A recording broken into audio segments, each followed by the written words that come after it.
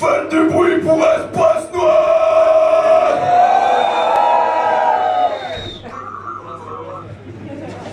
Ok. Alors, on continue avec la première chanson de mon dernier album qui s'appelle